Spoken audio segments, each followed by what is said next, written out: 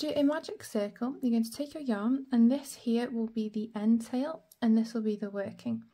What we're going to do is take our thumb and third finger and hold, get decent length, the end tail between them. We're going to wrap the working yarn around these two fingers.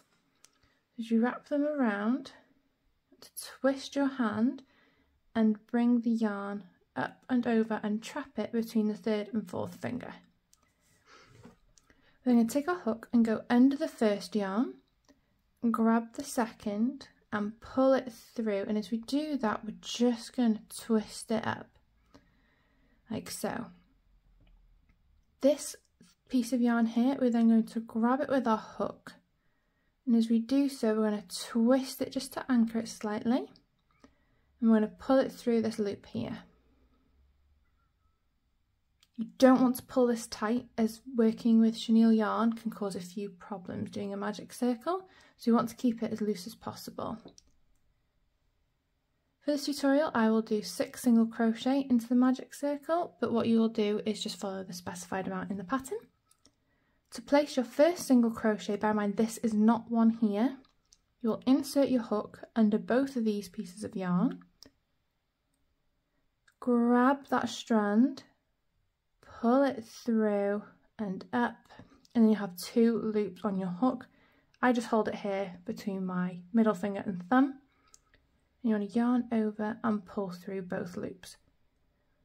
Do not pull the stitch tight.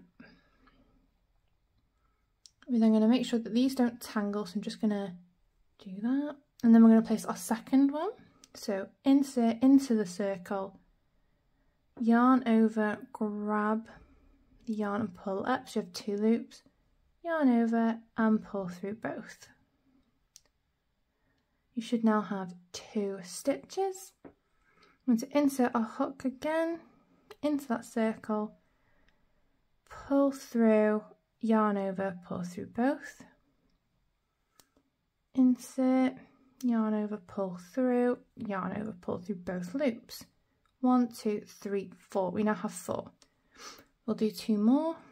Insert, yarn over, pull through, yarn over, pull through both, and then the final one. Insert, pull through, yarn over, pull through both. And we're just going to check, so you can count like this because the V's as a stitch.